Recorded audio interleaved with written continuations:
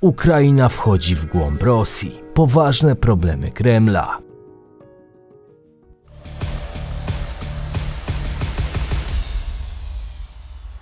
Według oficjalnych informacji Ukraina 6 sierpnia rozpoczęła jedną ze swoich najpoważniejszych inwazji na terytorium Rosji od początku wojny. Operacja jest skierowana przede wszystkim na region Kursk, który graniczy z północno-wschodnią Ukrainą. Według najnowszych informacji siły ukraińskie posunęły się o 30 km w głąb terytorium Rosji, co skłoniło Rosję do rozmieszczenia posiłków i przeprowadzenia ewakuacji w regionie. Mieszkańcy publicznie wyzywają swoje władze za to, że nie przygotowały ich na taki scenariusz. Уважаемый Владимир Владимирович, мы, жители Российской Федерации, Курской области, Суджанского района, обращаемся к вам. 6 числа на нашу землю зашел, зашли иностранные войска с натовской техникой. За несколько часов наш город был превращен в руину. Мы, наши родные, мужья, соседи защищают Донбасс. Мы лишились земля, земли, мы лишились домов. Мы убежали под обстрелами. Бежали среди руин, многие без документов. Хотим обратиться к вам, чтобы вы... Хотим попросить помощи. Мы остались одни. Мы привыкли к обстрелам. Мы... поте- Putin ma poważny problem, ponieważ te informacje masowo trafiają do opinii publicznej, także przez YouTube'a, która jest wściekła za brak kompetencji rosyjskiej armii. Z powodu ataku Kijowa na obwód kurski zwołano nadzwyczajną sesję Rady Bezpieczeństwa Rosji, podczas której Władimir Putin spotkał się z członkami rządu i przedstawicielami Rady. Rosja jest zmuszona przerzucić swoje jednostki także z frontu, co może doprowadzić do dynamicznych zmian na froncie. Wojna wkracza w nowy etap, przenosząc się już bezpośrednio na terytorium Rosji. Według dostępnych źródeł Ukraina zaangażowała w operację około 1000 do 2000 żołnierzy. Jednak dziennikarze amerykańskiego Forbesa uważają, że w akcję zaangażowanych jest nawet 10 tysięcy najlepszych ukraińskich jednostek. Są to przede wszystkim oddziały specjalne oraz elitarne jednostki piechoty, które zostały wsparte przez drony, artylerię i inne systemy dalekiego zasięgu. Ukraińcy maszerują na Kursk, czyli miasto liczące 450 tysięcy mieszkańców. Rosja przygotowuje się do obrony elektrowni jądrowej Kursk. Wejścia do elektrowni jądrowej są zablokowane od popołudnia 9 sierpnia, a 10 sierpnia do mediów społecznościowych trafiły nagrania z tego, jak Rosjanie przygotowują się do potencjalnej obrony miasta. Dzisiaj sprawdzimy dla Was najnowsze doniesienia z tych wydarzeń na dzień 11 sierpnia. Po reklamie zapraszam na raport specjalny. Jak wiecie, już jakiś czas temu stworzyliśmy dla Was naszą markę herbat Tuncia. Jednych ta nazwa irytuje, a innym się podoba, ale wzięła się z tego, że bardzo lubimy z narzeczoną herbaty i kiedy zachciało nam się jej napić, to pytaliśmy siebie, kto teraz zrobi herbatuncie. No i stąd nazwa Tuncia.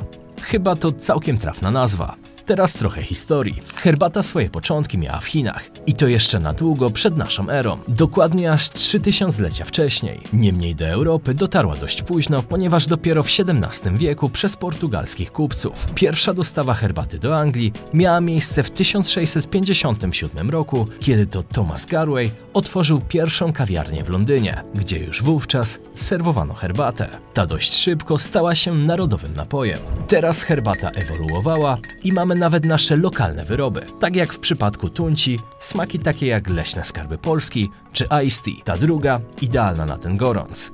Mieszanek mamy wiele, w tym nawet kubański rum. Do tego klasyki jak sencha, czy wyjątkowa japońska matcha z pierwszego, czyli najlepszego zbioru. Mamy też niebieską herbatę, która swój kolor nie zawdzięcza sztucznym barwnikom, a specjalnym kwiatom. Mowa konkretnie o turkusowych Malediwach. Na naszej stronie dodaliśmy też live chat, żeby ułatwić Wam zakupy. Także wszystkie nasze herbaty znajdziecie na stronie tuncia.pl. Z kolei nasz klasyczny produkt, czyli planszówkę oraz inne nasze rzeczy macie na globalista.pl. Ogólnie wszyscy chwalicie nasz sklep za szybkie dostawy oraz produkty, za co jesteśmy Wam mega wdzięczni. A teraz czas na materiał. Zaangażowanie 82. Samodzielnej Brygady Desantowo-Szturmowej pokazuje, że Kijów akcję pod Kurskiem traktuje jako operację ofensywną, a nie jak poprzednie rajdy rosyjskiego korpusu ochotniczego. Wojskom ukraińskim już teraz udało się przejąć Sudżę, Liubimówkę, Nową Iwanówkę oraz przejąć szosę na Kursk i Rylsk. Co też istotne, przeciąć połączenie kolejowe wzdłuż granicy, którym Rosjanie przerzucają siły na północy ukraińskiego frontu. Kijów, jeśli tylko pójdzie dalej i utrzyma zdobyte tereny, będzie miał znacznie lepszą pozycję negocjacyjną w ewentualnych rozmowach pokojowych, które tym sposobem nie sprowadzą się tylko do hasła ziemia za pokój. Największym sukcesem wszelako jest profit militarny w postaci wymuszenia na Moskwie wyciągnięcia części armii z obwodów, jakie zajmują na Ukrainie. To nagranie, które teraz widzicie, ma pochodzić z Ferdilkowa. To bardzo dobry dowód na to, jak duży sukces już osiągnęli Ukraińcy. Zdaje się, że Władimir Putin nie był wystarczająco dobrze poinformowany o planach Ukraińców, mimo że służby rosyjskie już trzy tygodnie przed planowanym atakiem wiedziały, że Ukraińcy szykują się do ataku na ich terytorium. Podczas ostatniego spotkania omawiającego sytuację, Władimir Putin rzucił naczelnemu dowódcy rosyjskiej armii generałowi Walerijowi Gerasimowowi zimne spojrzenie i wyraz irytacji. Nagranie wideo opublikowane w środę przez Kreml pokazało, że rosyjski prezydent nie był zadowolony z wiadomości z południowego regionu Kursk. Tak dobre wyniki na froncie udało się osiągnąć dzięki użyciu najlepszych jednostek oraz zaskoczeniu. Niemniej ogromny udział ma w tym technologia i wywiad. Kolumna rosyjskich posiłków została zniszczona przez atak rakietowy w pobliżu miasta Rylsk w czwartek wieczorem. Prawdopodobnie dlatego, że Ukraińcom udało się włamać do wielu kamer ruchu drogowego, które są zresztą cechą charakterystyczną rosyjskich autostrad. Z kolei 10 sierpnia w godzinach porannych, jak donosi Niechta, Ukraińcy dokonali także precyzyjnego ataku na konwój, jaki podróżował z Rosji. Tutaj według doniesień, ponieważ oficjalnymi informacjami tego jeszcze nazwać nie można, miało zginąć nawet 500 Rosjan. Według danych popołudniowych z 10 sierpnia ponad 76 tysięcy osób ewakuowano z regionów graniczących z Ukrainą w obwodzie kurskim na zachodzie Rosji. Poinformował w sobotę miejscowy wydział Wydział Resortu do Spraw Sytuacji Nadzwyczajnych. Rząd zapowiedział też, że przedstawiciele miejscowych władz w regionach przygranicznych otrzymają telefony satelitarne w związku z zakłóceniami sieci, podał TAS. Wcześniej Merkurska Igor Kucak poinformował, że do miasta przyjechało 16 tysięcy mieszkańców przygranicznych terytoriów obwodu. The drone was hovering above us. We braked the car in time. There was an explosion right in front of us. It all started at 2 a.m. We didn't sleep till the morning, and then the shells started flying. It was terrible. Władze rosyjskie zachowały się wyjątkowo nieodpowiedzialnie już na początku ukraińskiego ataku. Informacje nie były przekazywane w sposób należyty. Przykładowo pierwsze oficjalne oświadczenie FSB dotyczące sytuacji w obwodzie kurskim pojawiło się dopiero w południe 6 sierpnia kiedy to walki już trwały, a przygraniczne tereny były pod silnym ostrzałem, zmuszając mieszkańców do ukrywania się w piwnicach. I w rzeczywistości Rosjanom w przygranicznych miejscowościach wcale do śmiechu nie było, co zresztą doskonale widać po wypowiedzi tego prawosławnego duchownego. Tymczasem między godziną 12 a 14 trwał nieprzerwany ostrzał lądowy miejskiej świątyni. Wiele osób, w tym rodziny z dziećmi, nie ma gdzie się schronić ani możliwości ucieczki z miasta, ponieważ brakuje transportu. Sytuacja jest przerażająca.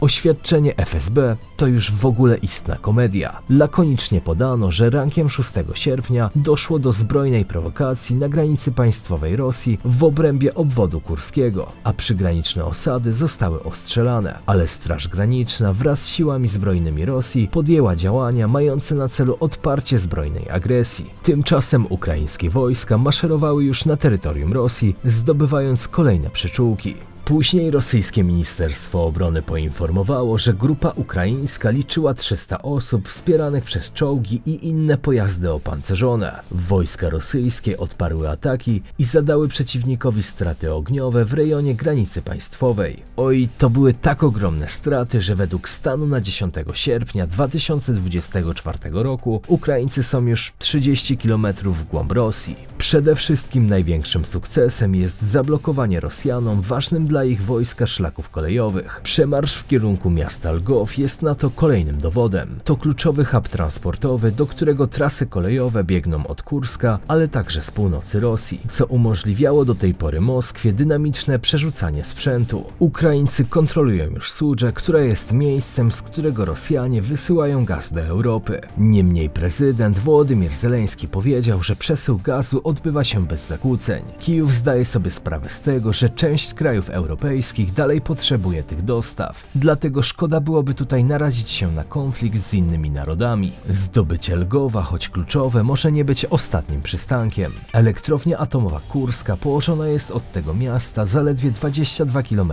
dalej. Jest świetnie skomunikowana dzięki trasie E38, która jest drogą szybkiego ruchu prowadzącą prosto do Kurska. Do tego miasta wciąż pozostaje około 68 km, biorąc pod uwagę dostępną infrastrukturę drogową. Niemniej pokonanie aż takiego dystansu przez ukraińską armię może być wyjątkowo trudne. Jednak hipotetycznie, gdyby taki cel został osiągnięty, to Ukraina miałaby bardzo silną kartę w rozmowach pokojowych z Rosją. Wymiana Melitopol i Mariupol za utracone przez Rosjan tereny być może byłaby możliwa. Kluczem w tej chwili jest to, że Rosja do tej pory nie miała planu skutecznego reagowania na zajęcie przez Ukraińców sporej części swojego terytorium. To jest około 400 km2. To znacznie więcej niż w rok udało się Rosji zająć w Donbasie. To wszystko jest poprzedzone przekazaniem Ukrainie pierwszych myśliwców F-16. Ich obecność miała zostać ostatnim razem zarejestrowana w Odessie. Ukraińcy do ataku na Rosję mają używać także amerykańskiego sprzętu. Swoje oświadczenie w tej sprawie przedstawiły amerykańskie władze na specjalnej konferencji. Uh, are, generally speaking, as you know, we have been supportive of Ukraine uh, as they are as they are uh, defending themselves against uh, Russia's aggression. We think that is obviously important to do as we talk about democracy and freedom, and so we're going to continue to do that.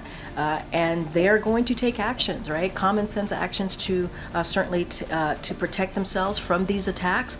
But as for the specific operation, we're going to reach out to them to see what their objective is and continue to stay focused. We are going to continue to stay focused on making sure they have what they need to defend themselves against Russia's aggression. Niemniej skracając ją, nie mają one nic przeciwko temu. Na różnych portalach trwa wymiana zdań wśród obserwatorów konfliktu. Jaki może być faktyczny cel Ukraińców? Na Reddicie jeden użytkownik trafnie zauważył, że poza motywami propagandowymi, które istnieją, jest jeszcze jedna rzecz. Najprawdopodobniej jest to próba odciągnięcia sił rosyjskich od Charkowa i Donbasu, również w celu uprzedzenia spodziewanej ofensywy rosyjskiej w kierunku obwodu sumskiego i stworzenia strefy buforowej, aby utrudnić rosyjski atak na terytorium Ukrainy. Rosjanie mieli w ostatnim czasie przygotować się do operacji, która miała być przeprowadzona ponownie na Charków. Jednak wobec potencjalnego zajęcia miasta Lgow ten plan znacząco się komplikuje. Wybory w USA mają odbyć się pod koniec listopada i wiele wskazuje na to, że Ukraina chce wykorzystać cały swój potencjał, aby Donald Trump, jeśli wygra, widział dalszy sens walki Kijowa. Taki przekaz na cały świat ma osłabić wizerunek Rosji i pomóc Ukraińcom w dostarczeniu kolejnych pakietów wsparcia. Kreml wprowadził reżim operacji terrorystycznej na terytorium trzech obwodów graniczących z Ukrainą kurskim, briańskim i białgorodzkim.